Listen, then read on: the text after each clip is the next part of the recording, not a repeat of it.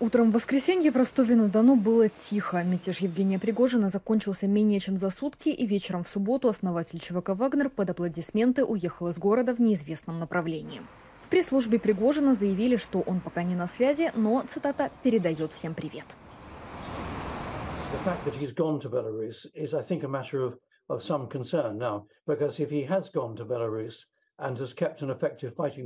Of, then he then presents a threat again to the Ukrainian flank uh, closest to Kiev, which was where all this began on the 24th of February last year.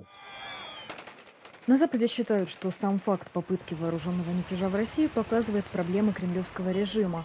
Так, госсекретарь США Энтони Блинкен заявил, что действия Евгения Пригожина показали реальные трещины в российском фасаде и бросили прямой вызов власти Путина.